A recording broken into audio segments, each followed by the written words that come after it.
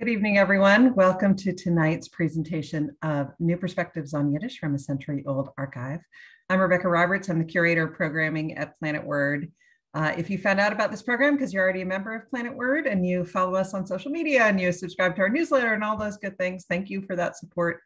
It's really important to the museum. I know I say that every program, but it has the virtue of truth. It is one of the reasons we're able to keep admission free to the program and uh, bring you programs like this one. If you found out about this program from some other avenue through YIVO or something else, um, we'd love to have you in the Planet Word orbit. The best way to do that is to subscribe to our newsletter, which you can do at planetwordmuseum.org. And I apologize for the dog noise in the background. That's just going to keep happening. I first learned about this project when I read an article in the New York Times in January. Um, I had never heard of the YIVO Institute, even though it was founded way back in 1925 in what was then Vilna, Poland, is now Vilnius, Lithuania. So that part of the world moves around in terms of national borders. Um, and it's astounding to me that, you know, they were collecting this material in the 20s and 30s, which of course meant that during World War II, it was scattered and lost and hidden. Um, but it's that pre-World War II collection that has now been digitized and is available. Um, and so it's not just a perspective on a language that has often been dismissed, uh, but it's an era of that language that not as much is known about. So I am absolutely delighted uh, to welcome Stefanie Halpern. She's the director of the YIVO Archives, and she's going to tell us all about that collection. Welcome to the program. Thank you, Rebecca, very much for having me, and thank you all for, for joining uh, me tonight, and we'll get started. So in tonight's program, uh, I'll share a little bit with you about the YIVO Institute for Jewish Research, the history of our collections, which uh, Rebecca has alluded to, um, our efforts to preserve these materials and to make them accessible to the world. And of course, I will share with you these archival materials and some surprising insights about Yiddish that we can glean from these newly digitized collections, which are online, available worldwide, free of charge. Um, but before we get to the digital realm, I just want to draw your attention to this photograph here um, on this slide. This is uh, just one of several stack areas that we have uh, in the YIVO archives. Um, you know, I know we are doing this remotely, but uh, this is where all of our, our documents live. Um, and so if ever you are in New York, I encourage you to, to visit YIVO and uh, to get a glimpse of these collections yourself. Those stacks hold uh, over 24 million records, including everything from manuscripts to photographs to sound recordings to objects on all aspects of Jewish life. Um, everything from Yiddish language, literature, and culture to European history with a specific focus on Eastern Europe to, of course, immigration, especially to the Americas. And we have uh, one of the largest collections of primary source materials um, on, on the Holocaust and its aftermath. YIVO, though, had very modest beginnings. It took 100 years for us to uh, to gather those 24 million documents.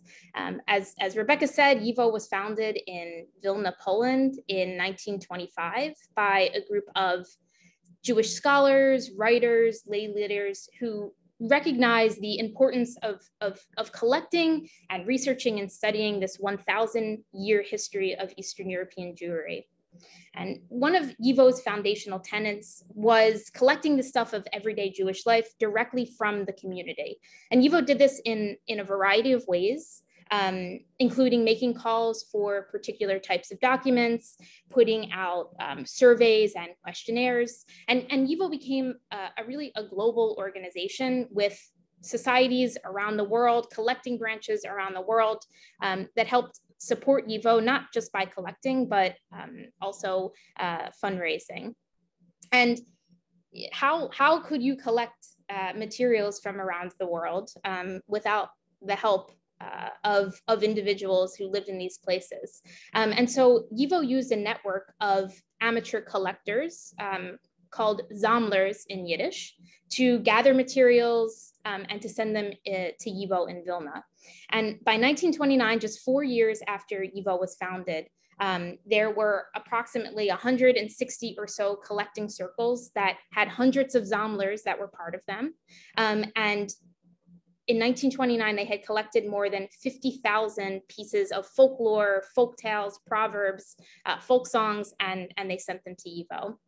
And YIVO, you know, then used these materials to create scholarship that not only illuminated and elevated the place of the Yiddish language and Yiddish culture for the wider world, but that also really showed uh, the Yiddish speaking community that there was great value in their own culture.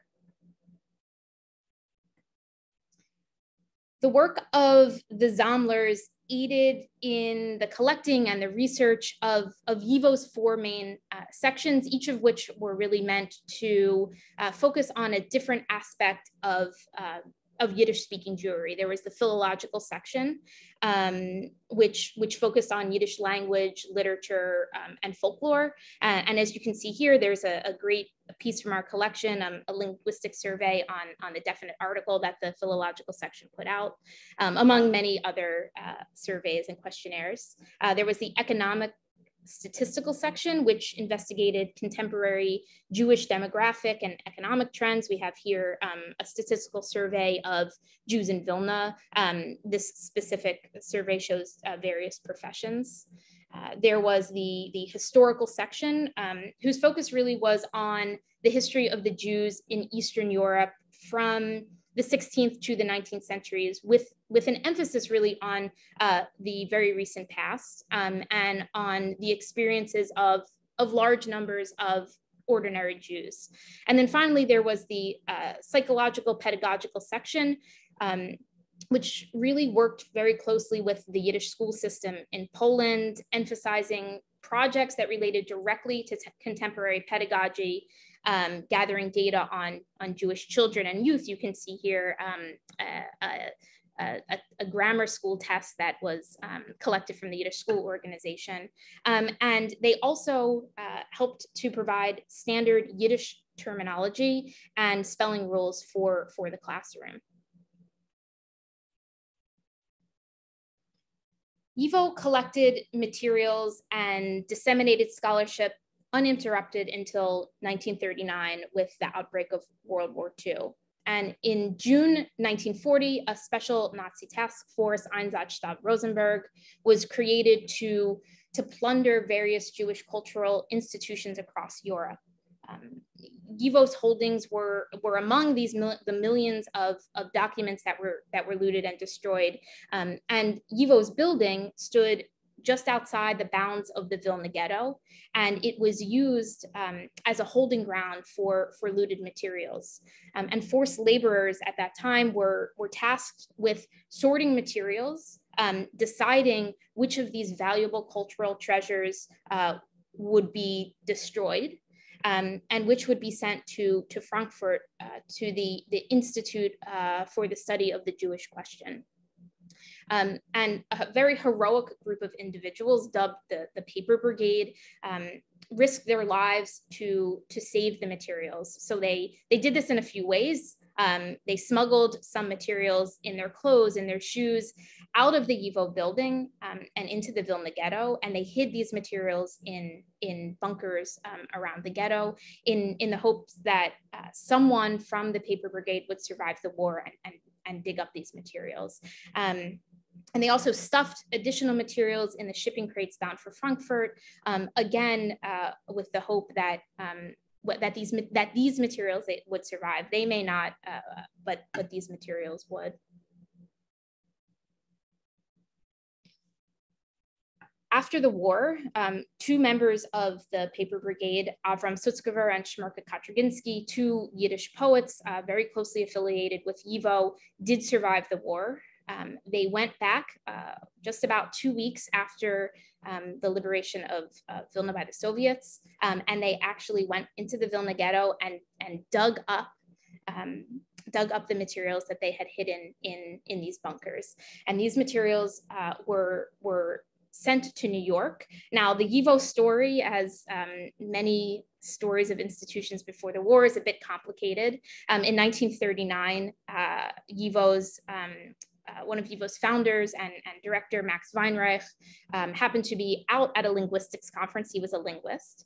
Um, and he was told uh, by his colleagues, don't come back to Poland, go to New York. There had always been um, a branch in New York. Uh, uh they, they did some collecting, they did a, a, lot of fundraising. And Max Weinreich went to New York um, and and officially moved the headquarters of YIVO from Vilna uh, to, to New York in 1940. Um, and so uh, when Avram Sutzkever and Shmerke Kaczerginski dug up these materials, there was a place for them to go. Um, and then at the Offenbach Archival Depot, the uh, United States Army, the Monuments, Fine Arts, and Archives Division of, of the United States Army, some of you may better uh, know them as the Monuments Men, um, located um, a, a, vast trove of materials um, belonging to YIVO. And in 1947, these materials were repatriated to YIVO in New York um, and, uh, and, and, sent to YIVO's headquarters there. Um, a nice little story, uh, at that time, YIVO did not have um, did not have the space to deal with what we would later come to find uh, amounted to over a million pages of documents and tens of thousands of volumes of books. Um, we had a relationship with the Manischewitz brothers, um, who had a warehouse in, in New Jersey, and they allowed YIVO to, to leave all of these crates um, in their warehouse until they could be sorted. And for decades, YIVO thought that those materials that had been repatriated, those materials that had been brought over, uh, that were dug up from the Vilna Ghetto, were all of YIVO's materials that survived. Um, but it was discovered after the fall of the Soviet Union um, in the late 80s that there were hundreds of thousands of additional pages of YIVO materials still in Lithuania. And additional discoveries were made um, in, in 2016 and 2017 in, in other repositories. Now, YIVO made some attempts to, um, to, to, to retrieve those physical materials. Uh, they were never able to do so. And so it was decided um, that questions of ownership uh, needed to be put aside. And we needed to um, create some type of large scale digitization project so that these materials, YIVO materials, could be reunited for the first time uh, in, in over 70 years. Um, and that is when the Edward Blank YIVO Vilna Online Collections Project was born. Uh, we, as Rebecca said, we just completed this seven year, $7 million project to digitize over, uh, you know, almost a million and a half pages of documents and 12,000 volumes of books and put them all online. Um, and uh, we worked very closely with our four, with our three Lithuanian uh, partner institutions where YIVO materials um, are, are to this day. So before we get into these archival materials, a very brief introduction to the Yiddish language just to, just to orient us in this world. So the Yiddish language is a thousand years old. Um, it was the, the spoken language of everyday of the everyday life of Ashkenazic Jewry, those, those Jews who hailed from Central and Eastern Europe. Um, Yiddish is written uh, with Hebrew characters, but it, it is not Hebrew at all. Um, in, in contrast to this everyday, to Yiddish, the everyday language, um, Hebrew was the, the language of religious texts. The first uh, record of um, a printed Yiddish sentence uh, is a blessing found in, in the Worms Machzor uh, from 1272. And beginning in the, the 14th century, Yiddish was really commonly used for, um, for epic poems, uh, for these sort of European knightly romances, um, such as the Shmuel which, which reworks uh, the biblical story of, of the prophet Samuel into this more European setting the history of, of Yiddish itself uh, parallels the history of, of Ashkenazic Jewry. Um, it's, it's not entirely known how Yiddish came to be a thousand years ago. Uh, there are several theories, but the most widely accepted is that of Max Weinreich. Uh, like I said, he was a linguistic, a, a linguist, um, a founder of YIVO, a director of YIVO. Um, and according to this theory, the language originated when Jews of, of Romance speaking territories um, in what is now uh, southern uh, southern France and, and northern Italy migrated to the Middle Rhine Basin. And uh, when they got to the Middle Rhine Basin, they shifted from this Jewish form of Romance language to uh, the local German of the period. And, and they adapted uh, this German to their needs. It, it, it became permeated with um, the rabbinical Hebrew and, and Aramaic that had formed a component of their previous language, as well as these Romance elements. And, and then beginning in the 11th century, the Crusades forced many uh, of, of these Jews to emigrate from the Rhine Basin. And with them, of course, uh, Yiddish moves eastward um, to southern and central Germany, and from there to what is now Bavaria, Austria, Czechoslovakia, Hungary, and, and, and then with this, numerous features uh, from the Bavarian and Franconian dialects of German are added to, to this Yiddish language. Yiddish speaking Jews then settle in growing numbers um, in, in what is now Poland, Lithuania, Belarus, U Ukraine, Romania. And then over the course of time, Eastern Europe becomes uh, the center of Yiddish, uh, as well as the most populous Jewish settlement in the world. And this migration then further fuses Slavic elements into the Yiddish language. And so as a result of this, Yiddish is, uh, is, is, is a result of, of linguistic fusion, um, a combination of all of these different sources. And because European Jews were always in contact with, with others, um, Yiddish was, was consistently being infused with new elements from different languages. Um, you know, the nature of Jewish involvement in trade and commerce and all of this cross-border travel um, frequently resulted in contact with speakers of other languages. Um, and then these, these borrowings would then serve to, to further enrich the Yiddish language. So just a, a good example of um, how all of these mixings and borrowings can be seen in various ways um, is, is, is how you say God in Yiddish. Um, so there is there are there are several ways to say God. Um, one being the sort of uh, more universal deity, Gott in Yiddish. Um, there is the the more personal deity interested in human fate, and this would this particular word would come from the dramatic element. Ebishter. Um, there's the God that you call out to in the second person uh, from the Hebrew, Rabboino Shaloilam. Um, and there's this more sort of philosophical God from, from the Aramaic, Rabboino Dealma. Um, and then there's the sort of emotional kind of homespun God that is evoked um, invoked by these Slavic derived endings, Gotenu. Um, and you know, in, as, as there are in, in many languages, um, there were several different um, Yiddish dialects. Uh, there's Northeastern Yiddish, which is the dialect of the North, um, very popularly called um, Lithuanian Yiddish or Litvish Yiddish. Maybe you've heard that term. Um, its speakers are called Litvaks and its territory encompasses what uh, today would be Lithuania, Belarus, uh, Latvia, portions of northeastern Poland, um, northern and, and, and eastern Ukraine, and, and also western Russia. And then there were the southern dialects. Um, and these would have been the largest um, dialects spoken, comprising about three quarters of all Yiddish speakers.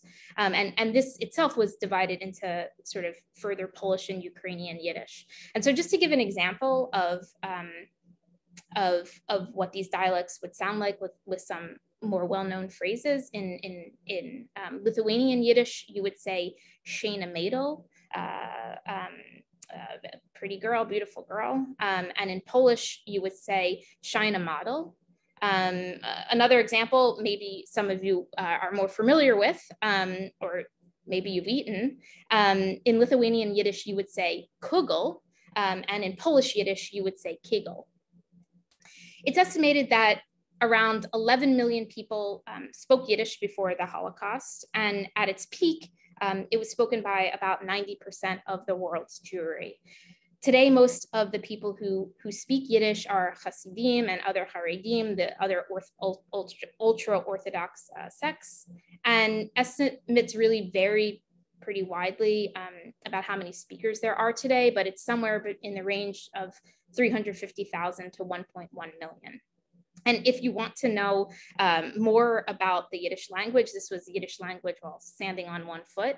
Um, there's a great uh, article in the YIVO Encyclopedia. Um, and if you really want to learn even more and, and, and become an expert, you can read Max Weinreich's History of the Yiddish Language. Okay, onto the, onto the archives, onto the documents. Um, like I said, uh, one of YIVO's um, missions was was sending um, Zamlers out with questionnaires um, and and and uh, many of the questionnaires um, were meant to collect folklore of all types. Um, storytelling in Yiddish was a very pervasive feature of the everyday life of, of, East, um, of Eastern European Jews, and the Zamlers were encouraged to really engage those who moved around, you know, itinerant um, artisans, merchants, matchmakers, preachers, wandering students. Um, these were all people who were sought out by Zamlers uh, to be storytellers because they would have amassed a really large repertoire of stories um, that would have been heard um, uh, um, from you know, the, their co-territorial uh, neighbors. And you know, remember that these, these folk tales, they come from an or oral storytelling tradition. And the very act of writing these stories down on paper uh, as the Zamlers collected them that act alone really changed them. And YIVO was conscious of this. Um, and they distributed sets of rules and tips for Zamlers. Uh, as you can see here, uh, YIVO's rules for collecting ethnographic materials, which was put out in 1925.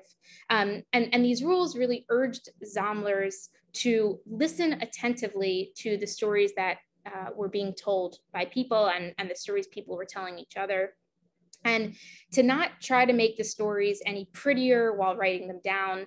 Um, YIVO urged them to, to sort of set the, the stories down exactly as the teller told them, um, including all asides, all aphorisms, um, because YIVO really wanted to try and capture this oral tradition. Um, of course, this was extremely difficult, and one Zamler um, remarked that the written form of the storyteller's art um, was just a very weak echo of, of what was heard from the storyteller's mouth. You know, the poses, the gestures, um, the sound of the voice, uh, this artistic manner, none of those could really be captured on paper. And YIVO was interested in collecting really as many variants of a story as possible um, because they weren't just interested in the contents, the themes. Um, they were interested in the way the story was told, um, and all of the linguistic choices and it, uh, that were that were made, the differences between tellings, between people, even between individuals of uh, the same family. Um, and if you can imagine it, by 1938, uh, YIVO's folklore collection contained over 100,000 items. One of the, the interesting things that we clearly see from, from YIVO's collections is that Yiddish storytelling fell into several main categories. There was the mushel, uh, the, the, parable, um, the Wundermeise, the, the wonder tale, the Witzigmeisele, or the fool's tale. Maybe some of you have heard or are familiar with the wise men of Chelm tales. Um, that would be a, a fool's tale. The Besoyer or the legend, um, the Kindermeise, the, the, the, the, the children, the child's tale. Um, and there were a whole category, there's a whole category of students called the Nias, uh, or the news stories from the outside world, where um, individuals would, uh, would you know, in these small towns in these shtetl would would um, would hear a piece of news and and and spread it around orally so really one of the the the, the favorites was uh, was a story with a, with a moral, the, the mushel, the parable, um, right? A tale that employs um, examples, analogies to really make its point. And in these stories, the deeds of ancient heroes or ordinary people and even animals serve to illustrate some kind of moral point. Um, so I'm going to tell you a, uh, uh, um, a nice example of a mushel. Um, you can see this here on the screen. Things can always get worse. So here's the story. Once there was a poor man who thought it was too bad that he had to go about begging for bread, and he complained about it to God. With that, a hump grew on his back, and in addition to the hump, a man grew there too. And the man had a mouth as well. And each time the beggar tried to eat a morsel of bread, the man on his back snatched it from him. Then the beggar prayed, Neither erase, O Lord, nor write. Let things be the way they were. And this is why one must never say that things are bad. They can always get worse. So the a, another favorite um, uh, type of story uh, are, are, the legends, that the memorats. Uh, I find these particularly interesting because the tellers always presented them um, as an account of, uh, of an extraordinary event that was purported to actually have occurred in a very specific time at a very specific place. Um, oftentimes it would be, you know, explaining how a synagogue came to be built in a certain location or something like, uh, you know, how a holy place, how a synagogue was, was, was miraculously saved by a fire. There's a great story where a teller recounts a fire that happened um, uh, near the synagogue in in in his town, um, and a flock of doves comes and they fly around the synagogue and they're able to hold the, the fire at bay with wings with wind from their flapping wings. Um, and the Yiddish Memorat, um, uh, you may gather, was often full of these supernatural elements, um, especially supernatural creatures that within the Yiddish folk tradition were believed to to be real entities. Um, so a lot of, um, of these stories tell of the transmigration of a soul, a gilgul, um, where the soul of of a human or of an animal attaches itself to, to some kind of host. Um, perhaps uh, sort of the, the better known supernatural entity um, today uh, that, that comes from Yiddish folk tales is the Dybbuk, um, the restless spirit of, of a dead person. Um, and you may be familiar with um, Shin Ansky's very famous Yiddish play, um, The Dybbuk, uh, which is written and sort of draws directly from um, these source materials, these folklore materials that were collected um, uh, by various ethnographic uh, commissions. So a very short memorat about an elf um, from our collection, uh, collected in, in Poland um, in 1926 from um, Reb Shaya Heschel, a bookbinder. So Reb Shaya Heschel tells this story. My grandmother used to tell all sorts of tales but I have to say that she never told any lies. Once she told us that one day when she was lying in bed, she saw an elf crawl out from under it. Her baby was also lying in the bed and crying. The elf went up to it and rocked it for a while, then gave the baby a light slap, which made it stop crying. After that, the elf trotted up to a cupboard where a flask of brandy was stored. It took out the brandy, had a few nips, and ran back under the bed. Well, from that time on, my grandmother never had to buy brandy because no matter how much you poured out of the flask the elf had sipped from, it always remained full. We could all use a, an elf like that sometimes. YIVO also collected a, a, very large number of materials, um, including stories and games and riddles that give insight um, into the language and the life of children and youth. Um, and for instance, um, there's a there's a, a, large collection of nonsense tales of Liegenmeislech, these little fibbing tales, um, tales that are known as nicht gestoiben, nicht geflogen, far-fetched, literally um, tales that neither ascend nor fly. Um, and the humor of these tales lies in this kind of continuous flow of contradictions, of non sequiturs, strange juxtapositions of people and events. Um, and they were especially popular during, during Purim, um, uh, which is the, the holiday that celebrates the defeat of Haman um, in his plans to destroy the, the Jews of Persia during the reign of King Achashverosh. Um, and this very carnivalesque mood pervades the holiday, right? You're meant to make noise uh, with groggers, with noisemakers to blot out the name of, of Haman. Um, and so non, your nonsense tales um, sort of become part of, of this revelry. Um, and so here's a nice little nonsense tale just to kind of get the idea of how words and turns of phrases and imagery all flow into one another. Um, you see it here. It's called A Pain in the Neck, collected um, in, in 1928. Once upon a time, there was a very rich poor man. He had no children except for nine daughters. His oldest, son took it into his head to go to the fair. So he saddled a match, rode up the chimney, and was driven riding to the water. Two sieves, one with a bottom, the other without, were floating in the water. He sat down between them and floated. Suddenly, he heard someone shout that the synagogue was on fire. So he ran to rescue the bathhouse. But just then he remembered that he hadn't eaten yet. So he went to buy something to eat. Someone said, You're going to eat? Today is such an important fast day. The Russians are beating each other. He went on and was told, You're going to eat today on such a holiday? Your wife has given birth to a boy. He remembered that he didn't have any diapers, so he rode to the forest for twigs, but his hands got stuck. So he ran to fetch an axe. And as he went, he saw a fly at the tip of the church steeple, and she did not look well. So he went to the doctor for medicine. Then he ran into the city to get a pain in the neck because he was a pain in the neck. Children were, were also very fond of more complex word games like riddles and jokes um, and even, even secret made up languages.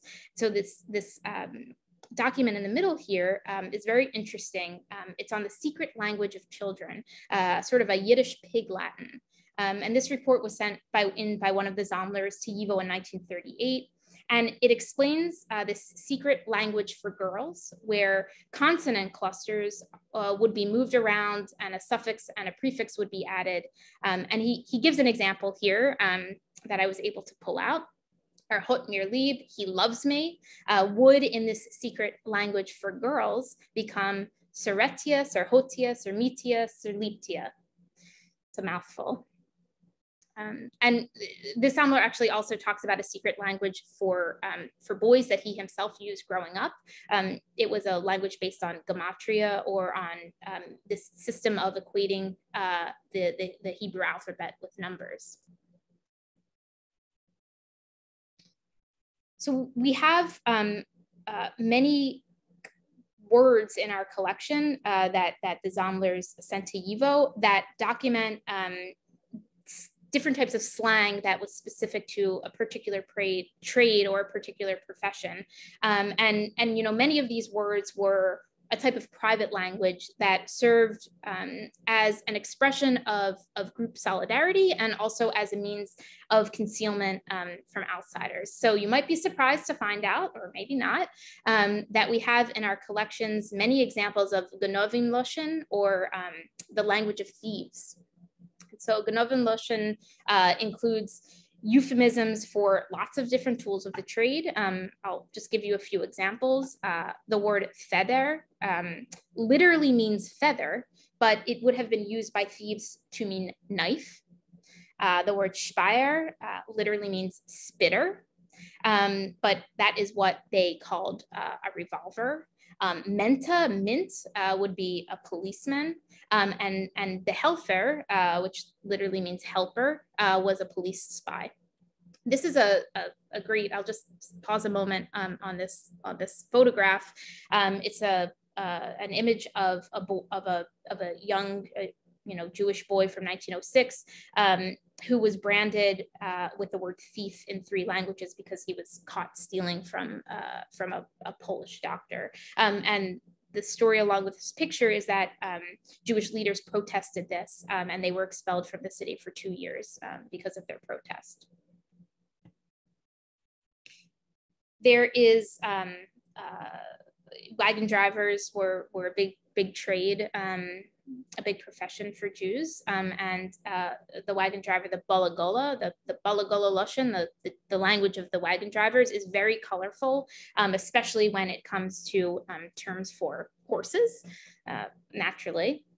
And so um, you have uh, a horse that could be called an udler, an eagle, literally, uh, a horse that, that flies very quickly. Um, an Eiermann, uh, literally a testicle man, uh, which is what they would have called a stallion. Um, and a mare could be called uh, Schwester, sister, mama, mother, um, or balabusta, lady of the house. Um, and a particular uh, favorite phrase of mine from the Balagola Lushan um, is the phrase a lulav, mit, and esrog. Um, and so this refers to a, a lulav and an etrog, uh, esrog are are two ritual objects that are used on the holiday of Sukkot, um, a harvest festival. Um, and uh, there's the, the tall lulav with um, uh, made of three types of branches, the palm, the willow, and the myrtle, and the, and the etrog, it's the citron, you know, sort of looks like a, a lemon, a little bit of a bigger lemon. Um, and you would hold them together, you hold them together and you shake them. And so you have this tall uh, lulav, this um, uh, small etrog. And so a lulav um, midden esrig would be when a small horse and a large horse were harnessed together. Um, and this is a great photograph uh, of a Jewish coach driver um, from Warsaw taken in, in about 1924. Um, and and the, uh, the caption on the back says that this coach driver was the oldest in Warsaw. Um, and he's 82 years old, still uh, still acting as a still a wagon driver. And the, the caption always says he still um, enjoys a good schnapps every day. I'll just give you one more example of, of this trade slang. Um, you know, actors uh, were very popular. Yiddish theater was extremely popular in, in, in Eastern Europe and in America. And so lots of slang terms developed around, around acting, around the theater. Um, so the term schmear, literally scribbler, um, would be a, a, the term for a very bad playwright uh, patriot, uh, literally a patriot, um, is what uh, um, you would call someone who was fiercely devoted to a particular actor. And there were many patrioten. They would oftentimes, there are accounts of them getting into fights on the street about, about who the, the better actor is. Um, there are a number of, of phrases that uh, use the word bulba, potato. Um, um, so machen a bulba, uh, to make a blunder. Um, it would be used for an actor who, um, who misses his lines. Um, Reden von Arbel, literally to talk from the sleeve, would be to, to improvise lines. Um, and then an Americanism in, in, in actor slang, uh, traveling off their vibes or traveling off their Mons ticket um, to, to travel on um, a husband or a wife's on, on one spouse's ticket, meaning to be hired um, because the theater only really wanted uh, the husband or the wife to come perform. So in addition to all of the slang, um, YIVO collected materials that aimed to serve a, a much more prescriptive function um, uh, by determining, you know, standard vocabulary and, and collecting everything, um, including lists of words relating to things like bookbinding and locksmithing, ironing, zoology, tin works, liquor distilling, woodwork, honey making, mead making, hat making, knitting, the list goes on and on and on. Um, and in this way, uh, in, in collecting like this, YIVO really aided the work of communal and educational organizations that functioned in Yiddish and needed a, a range of up-to-date and specialized terminology. So for example, um, there was a need for specialized textbooks for ORT, for the Society for the Promotion of Handicraft and agricultural work among the Jews. Um, and this was an organization that encouraged Jews to um, to learn a trade and, and, and try to improve their economic status through this trade. And so the Jewish Vocational School of Ort provided Jewish youth who had completed elementary school an opportunity to acquire um, vocational training and uh, they they provided theoretical and practical education in the field of, of mechanics and technology um, and of course they um, they needed materials to do so. And so um, you see here an ORT manual on measuring electrical resistance, um, you know, various uh, diagrams of plumbing and sewage plants, um, and, and, and you see some of this terminology um, uh, uh, that YIVO collected.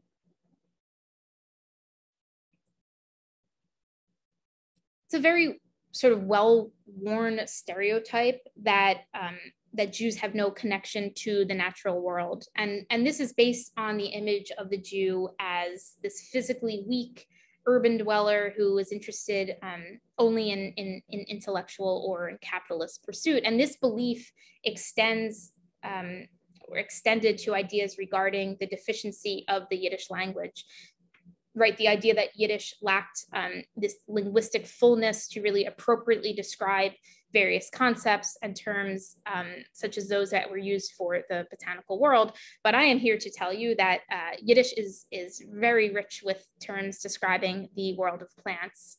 Um, the use of botanical terms uh, in written Yiddish can be dated as far back as 1290, uh, where Yiddish words for things like poppy, mun, mint, uh, miatka, or menta um, uh, find find usage in these in these written texts. And there were books um, on folk medicine from the 15th and the 16th century that also listed um, terms for plants, including things like ginger, imber, uh, garlic, noble. Yiddish children's games um, uh, and, and rhymes were a great source uh, for for botanical language. And so uh, a really one that I love, um, the maple tree, uh, Nesboim in Yiddish, literally the nose tree. Um, this, this Yiddish rendering um, is really a perfect illustration of how the seed pods of the tree could be split open and, and stuck to the end of your nose. Um, and you, you can call uh, peanuts uh, Rabbi Nislech, rabbi nuts, um, or Moshe Rabbeinu Nislech, uh, Moses nuts. Um, and they supposedly get their name uh, from the bearded figure that you see um, when a peanut is cracked in half. So the next time you're at a baseball game, um, crack a peanut open and, and see if you can if you can find Moses uh, in there. And so these Yiddish terminologies um, for all of these botanical wonders were gathered and standardized in the 1920s for the Yiddish language school system in Poland, um, the aim of which was to, to use modern pedagogical tools to, to teach secular subjects in Yiddish, um, right? And there was also this belief that went along with it that fostering a connection to the natural world was particularly important for the, the well-rounded development of school-age children. And so to this end, these new textbooks on various aspects of botany and gardening and agriculture were created to meet the curricular needs of students. Um, and as, as, as you can see here from these wonderful illustrations uh, from these books and from um, the, the children's uh, uh, school notebooks, um, they included everything from descriptions of the characteristics of flowers, trees, shrubs, and grasses, um, different diagrams on everything from the root system of various plants uh, to the reproductive parts of flowers, you know, explanations on topics like um, the germination rate of different seeds. Um, and, and some textbooks even give lessons on the varieties of, of fruits and vegetables you might find in, um, in a usual meal, including uh, more than a dozen types of kroit or cabbage um, that, that could be uh, uh, grown and, and, and cooked. Um, and uh, what's interesting is that these um, books aren't limited just to those plants you find you may find in Eastern Europe. Um, there's a great illustration you see here on the page of um, of a cactus. And so these uh, these books, these manuals really introduced um, and had terminology for, for all of the plant world. The Yiddish school system also uh, created many materials for a variety of other subjects, including mathematics, um, the sciences, um, and, and again, YIVO has a hand in standardizing this, these types of technical languages um, that will be learned in school. So you see here um, some geometry notebooks from our collection, um, lists of things like chemistry terms, um, uh, astronomical uh, charts, um, and this, this great uh, image of a of an erupting volcano from uh, Julius Wagner's Tales from the Earth. he uh, wrote tales from the tales from the air, tales from the sea, all of these sort of short vignettes about uh, different natural wonders. So there is this real abundance of material in YIVO's collection that has to do with health and medicine. Um, much of it comes, you know, from these uh, ethnographic materials documenting folk culture.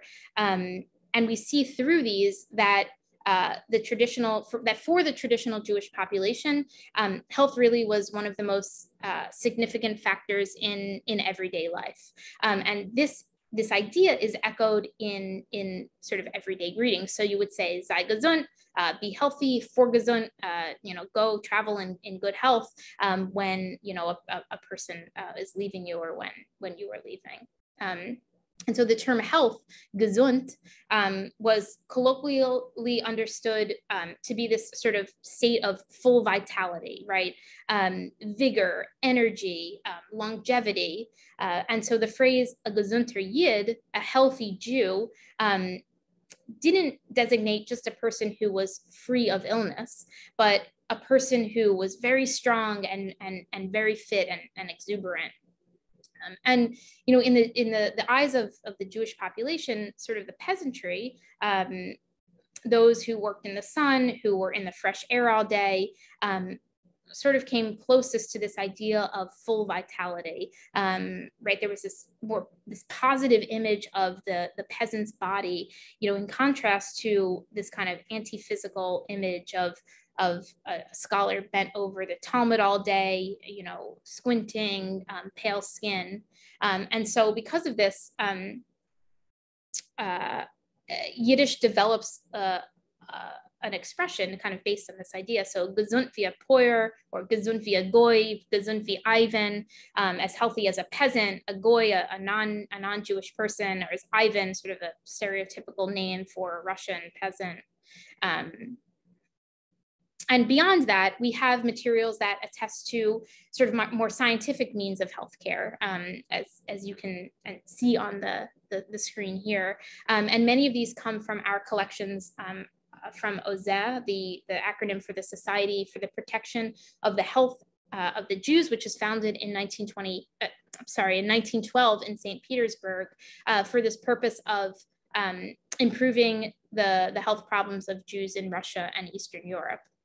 And so textbooks and posters and other educational materials um, were put out uh, both with the standard medical terminology um, as well as more colloquial terms for medical conditions and for for body parts. Um, and so you see here the diagram um, of, of the uh, of the intestines. Um, and what's really interesting here is that it's labeled in three ways. Um, there's the English words, uh, then there are these words that are transliterated into Yiddish, um, and then there are the more widely uh, used Yiddish words for for those um, for those organs. So stomach. Uh, here is uh, in, in, in Yiddish, um, esophagus, um, schlung uh, for the word to, to swallow, could also be called linke Kell, which uh, would mean little windpipe. Um, the large intestine, um, maybe you, you've heard this word before, it would be the grosse Kishkas, um, and the small intestine, um, the, the, the the, the innards.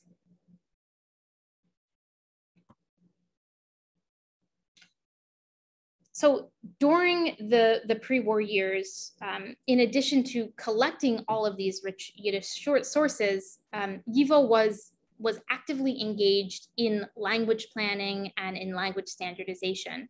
And um, as you can see from, from these examples that I've shown you uh, from our collections, Yiddish was used as a language for, for everything. But it never really had the prestige of other major European languages because it was never tied to the apparatus of a state or of a university um, and it was it was often derided by both the outside world as well as by Jews themselves as a as a as a jargon, as a as a jargon, um, or as a bastardized form of German, um, rather than ever being considered its its own language. Um, and this was something, of course, that YIVO sought to change, um, you know, to elevate the language to one which had national prestige. Um, and so um, YIVO really was also invested um, in the idea of Jewish continuity in creating um, a linguistic based national identity. And to do so, um, meant that Yiddish needed to be taught in schools, it needed to be taught in universities. Um, uh, it needed to be used um, in the service of, of creating all things literary and social and cultural. And so in many ways, the work that YIVO was doing in the 1920s and the 1930s was a continuation of what was started in 1908. Uh, there, there was a, um, an influential gathering in Chernovitz uh, of Yiddish writers and intellectuals who debated the status um, of Yiddish as a national language, uh, as a national language alongside Hebrew.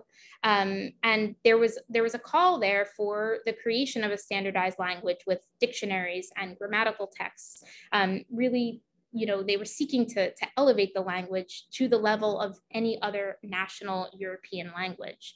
Um, and in addition, there was this idea that um, that creating a cultural standardized language while also educating the masses of Yiddish speakers in this particular language uh, would, would serve to, to simultaneously raise the status of the language and also the cultural level of the people.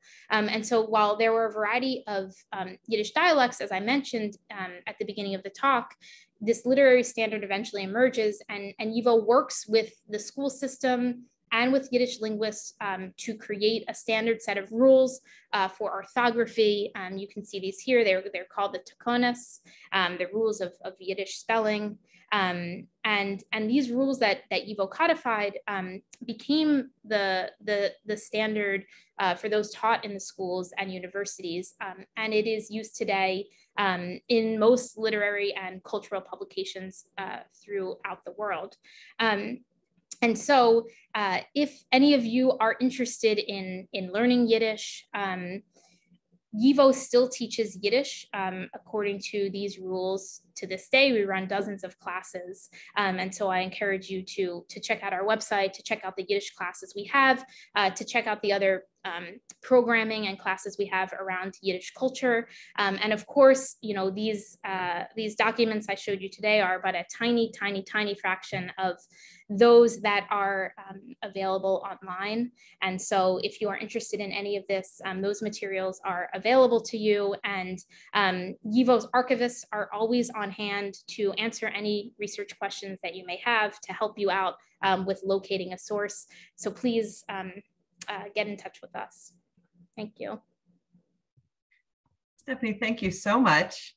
Um, and if anyone has questions for Stefanie Halpern, please put them in the Q&A box. I have a question, which is um, the people who have accessed this archive so far, I know because it's online, you don't always know what they're doing, but what's your sense of why they're accessing it? It's a great question, um, and it is varied. So, of course, there there are the scholars, you know, who are interested in Eastern European Jewish life, who you know work on folklore, who work on on, on linguistics, um, who work on history. Um, but there are also artists um, musicians. So part of this collection, which you didn't get to see today, um, we have a, a large um, collection of um, of, of handwritten music manuscripts, hundreds and hundreds um, from the Yiddish theater, from, from Yiddish operettas. Um, and, uh, and so you know, musicians come and use these. And in fact, the Folksbiene, some of you may be familiar with, uh, with that Yiddish theater, um, they use this collection to uh, recreate the score and, um, and other materials from our collection to recreate the libretto of, of the Kishifmacher and the Witch, uh, which was a very famous um, uh, Yiddish play by uh, Abraham Goldfaden. And they, they put that on uh, not too long before the pandemic.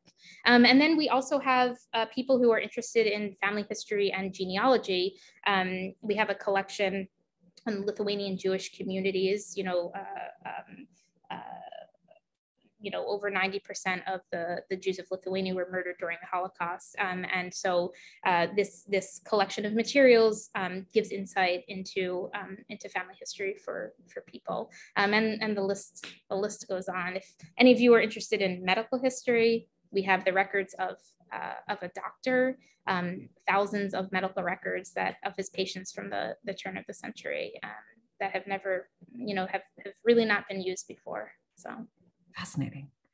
What what surprised you the most when you started digging in? I know you've only scratched the tip of the iceberg. Uh, when I started digging into the collections, mm-hmm. um, well, the sort of the sheer volume um, of yeah. it all, you know, and and and again, this is you know so much was destroyed. So this is um, a million and a half pages is, you know, is is just a bit of of what we had collected.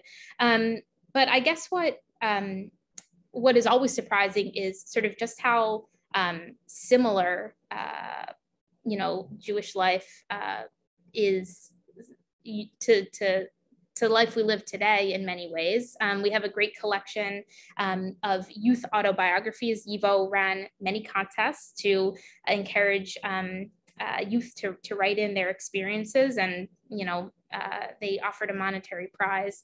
And so there's a great autobiography of a kid um, who talks about peer pressure and being, being peer pressured into to, uh, to stealing and how guilty he felt. Um, there are great accounts of um, uh, these these youth writing i i held a girl's hand i have a crush on a boy please don't tell my parents you know um, and so sort of the, the the things that that we see today and of course as we've seen from all of these documents you know um, eastern european jewish life is very different than than what we have than what we have today in many ways as well um, uh, somebody asks, have you noticed differences in dialects across the Yiddish speaking world? And are there any examples that spring to mind?